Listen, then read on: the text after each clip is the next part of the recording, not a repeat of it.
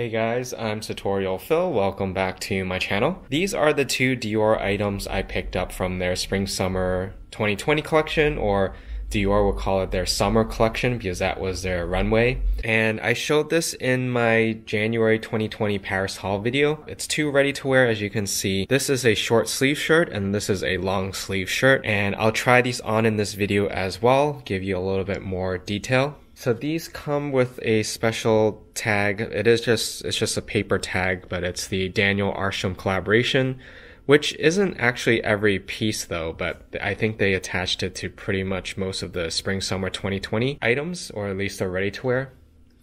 And they are still using this for the extra buttons and the collar stays. And this design was implemented by Hedi Slimane when he first started Dior Homme like I think it's been almost it's definitely over 10 years. I think it might be close to 20 years. So this is the shirt that I knew I definitely wanted to get. I really like the pattern and the gray, the monochrome color of it and it has the Daniel Arsham motif. I mean, this isn't a 3D object where it's the eroded goods, but it does have the design and it even has the saddle as well. The eroded saddle, which was on the runway, but it turns out they didn't actually produce it. And then you have this, which was made as a small leather good as well. You have the basketball, the telephone, which is something Daniel Arsham has done in his sculptures. And then these letters were, the eroded letters were at the set of the runway show.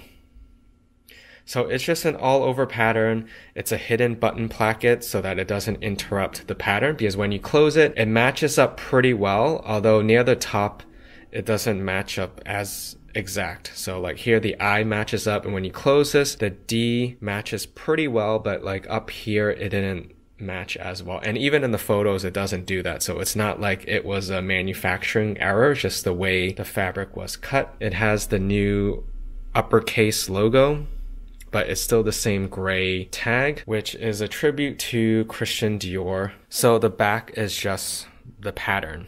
And I did get this altered, but because it's a short sleeve, I didn't get the sleeves altered. And this was my regular size as a 37 and it pretty much the shoulders fit me pretty well. So I didn't need that to be taken in. The only thing I had done was I had it shortened because I wanted a more tailored fit. So that's the only thing I did. This is what the back side of the print looks like. And this is called a gray technical canvas.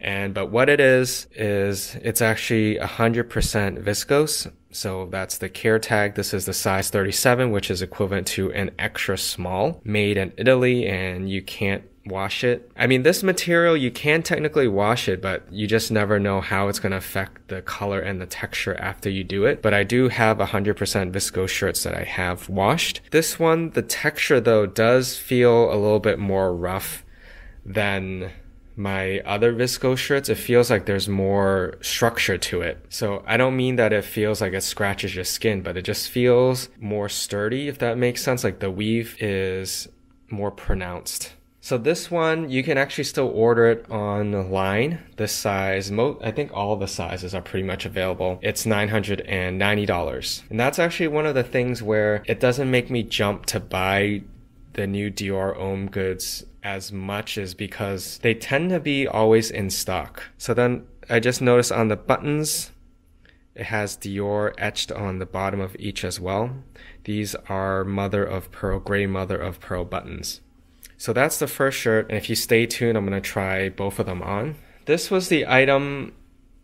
It was I didn't remember it, but when I saw it and they did have it in my size, and I tried it on, and I decided I wanted to collect something for, with the newspaper print, or at least a new one. So I ended up getting this. It wasn't an intentional purpose, but it's what happens when you go into the store and they have it in your size and you decide to try it on.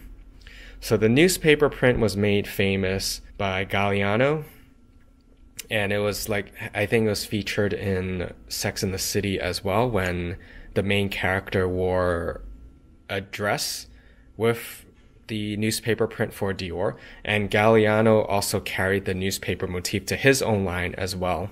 This is kind of an updated one. I believe this logo was created by Kris Van Assche, or it was used when he was there at Dior Homme. That's the Daniel Arsham. So actually, this does have Daniel Arsham because that's the eroded D, as well as there's a eroded clock here as well. The eroded, there's an eroded telephone here too, and then you have the the sans serif font here, CD Dior, which was used in the show. So that's like the new design. And then everything else is more of a newspaper newspaper print. And this is the oblique line, which is the collection that Kim is using and it's basically it's just a print all over. There aren't any other special details besides the print just being all over the shirt. And it doesn't necessarily continue through the seams but because it's such a busy pattern you don't really notice if things are lining up or not. The back of course is one solid pattern but it's meant to look like stacked paper which you can see better in the back as one continuous fabric there aren't any shadow lines or outlines of the paper, but you can see through like the white margins where each page is kind of starting and ending. So this one, same with the short sleeve, I got it shortened. And also when I tuck it, like this one I would probably wear tucked. It just doesn't bunch up as much, so it's just a better fit, especially if I'm gonna be wearing slim trousers with this. So I also got the sleeves shortened because they're always almost too long.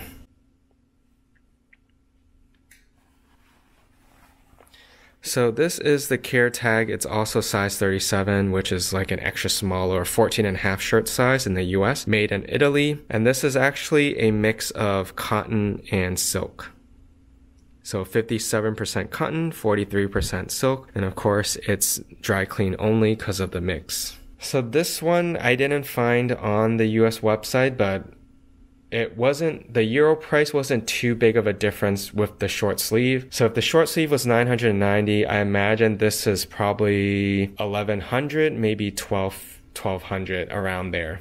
And it's funny this is saying it's the summer collection of 3020 which is part of it's Daniel Arsham's thing of, around like eroded modern objects because so much time has passed. So it's like looking to the it's a newspaper from the future, which is kind of oxymoronic that you know they would still be printing newspaper in the future.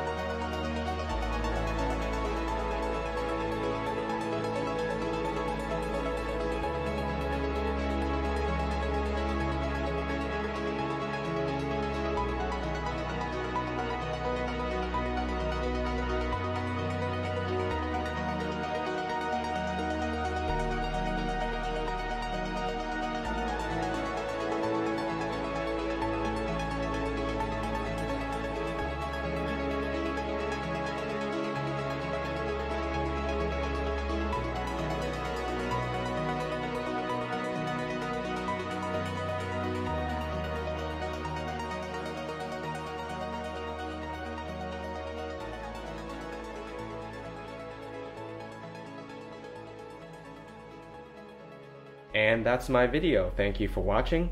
Subscribe for more videos and check out my Instagram page at Sartorial Phil. I have the latest updates and exclusive content on there as well. So thanks again for watching and I hope to see you in my next video.